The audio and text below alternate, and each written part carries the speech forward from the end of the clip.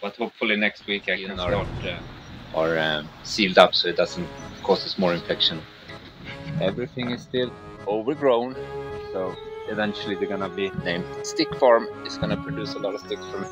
The idea is to start small woodworking year fully out to have the full cycle, and then maybe next year. Then right now, starting to look nice.